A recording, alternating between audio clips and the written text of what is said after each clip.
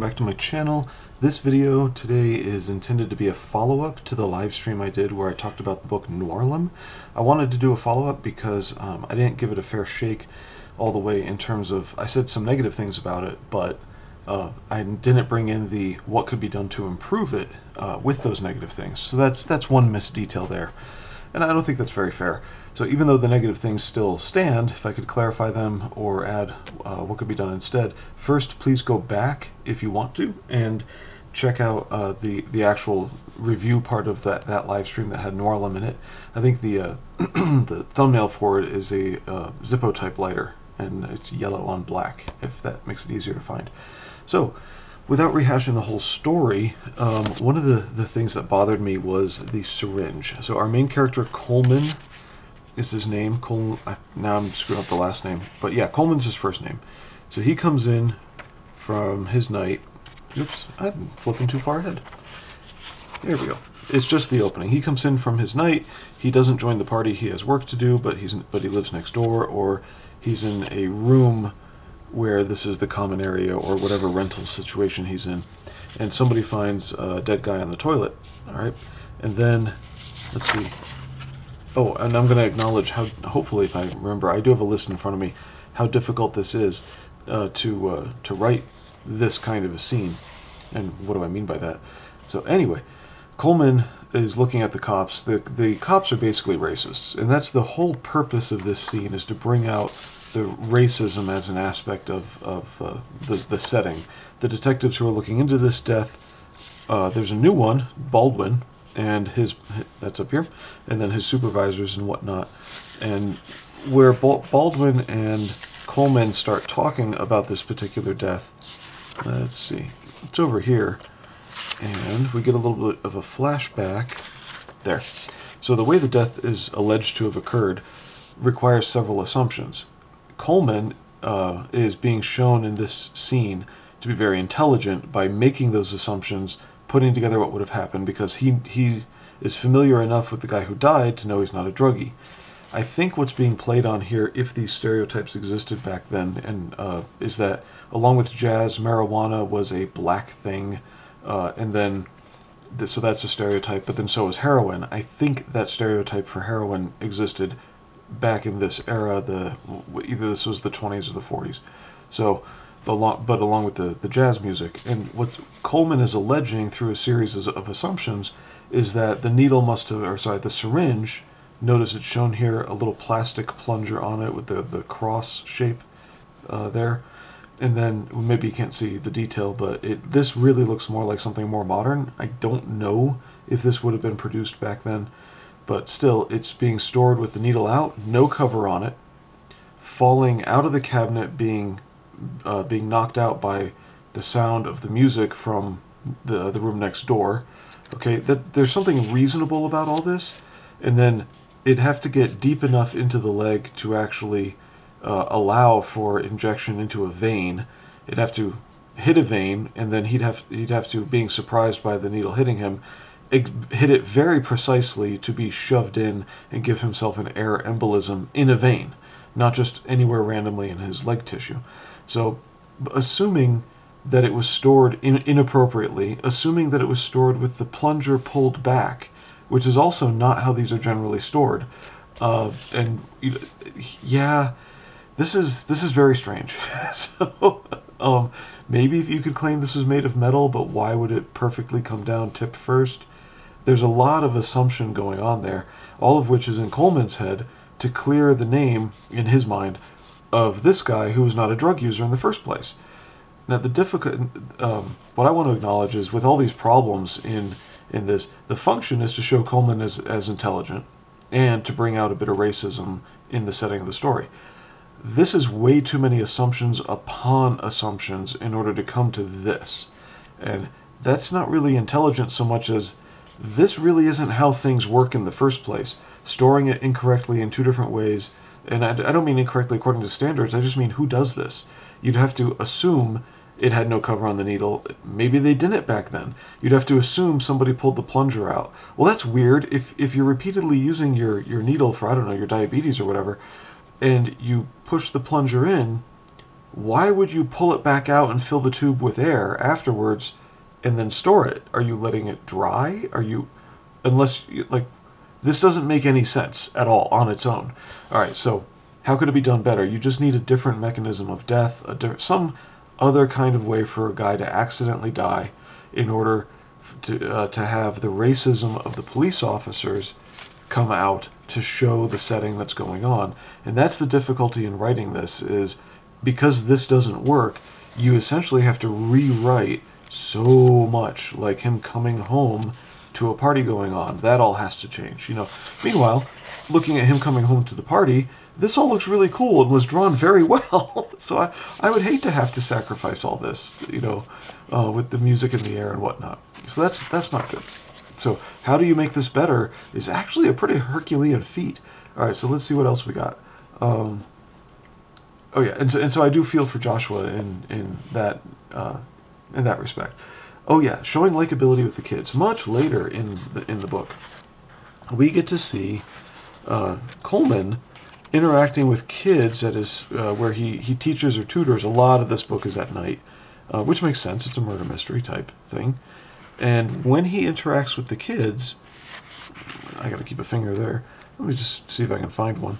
Um, here he's interacting a lot with Baldwin, our white detective. Do, do, do, okay, this is not it.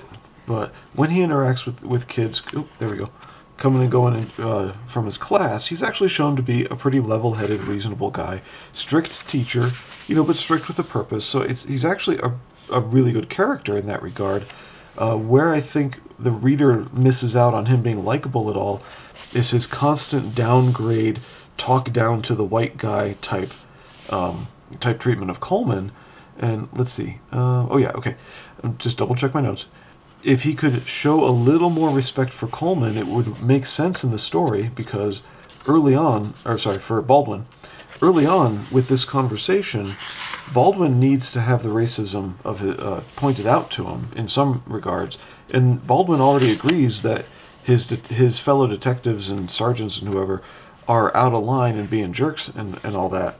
So for Coleman to keep giving a lot of attitude to Baldwin as some empty-headed idiot doesn't make a lot of sense. He should be saying, hey, I have a peer here. And then Baldwin himself is written in such a way that it doesn't even make sense that he's a detective in the first place.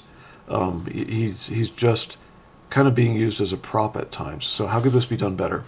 One, give Baldwin a little more intelligence instead, instead of him be, being just an empty vessel to say what's going on, help me out, you know, I don't understand, instead of that kind of attitude. And then two, to make the audience see Mr. Col- or Coleman here as more likable, which I think would really improve things.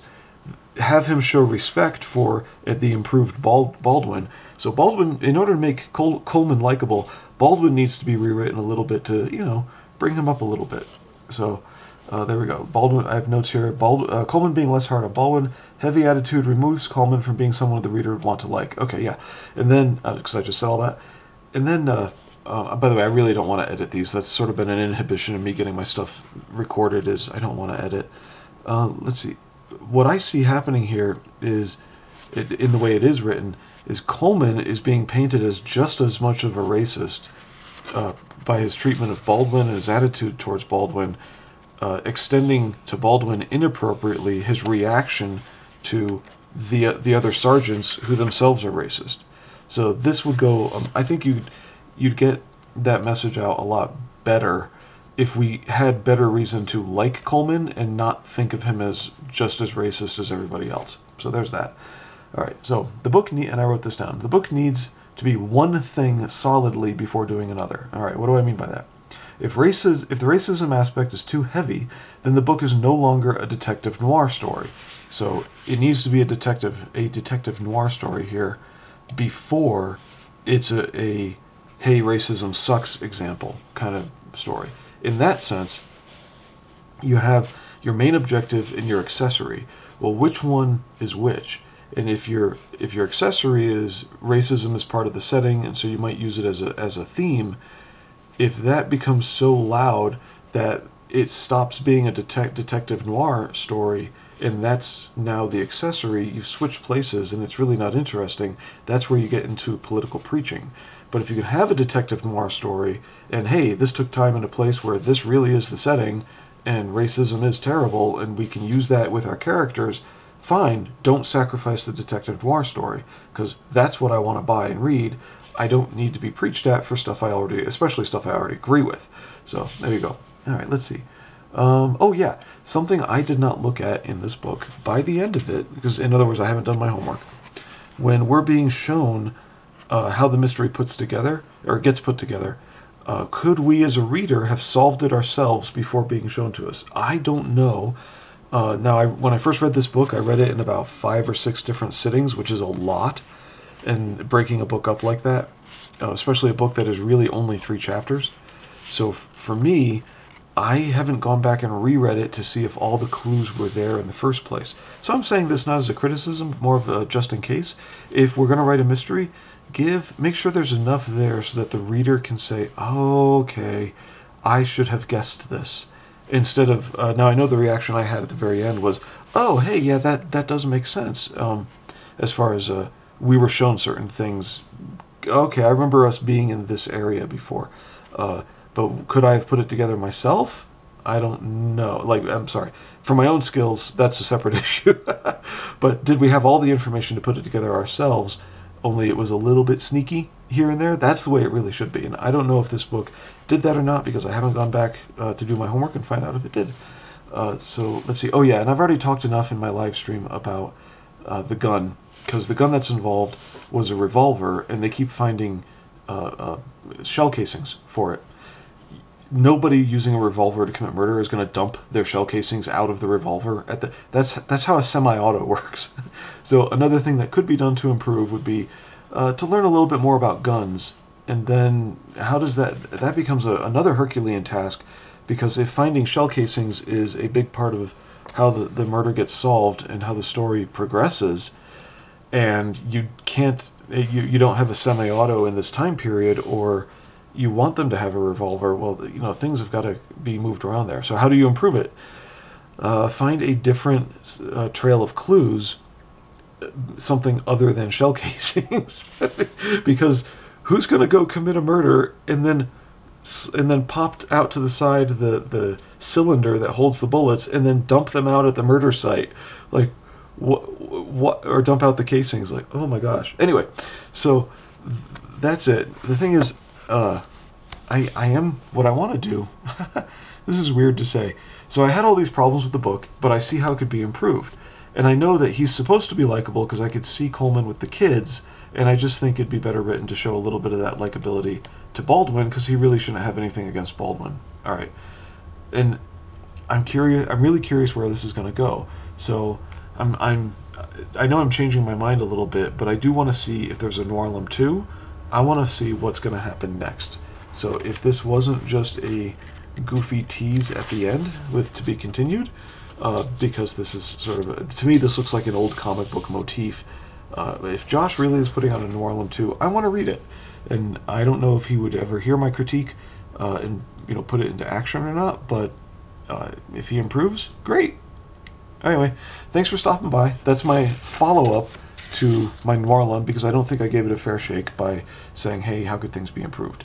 I hope this was useful to you, uh, useful for anyone uh, looking at it. Have a good night.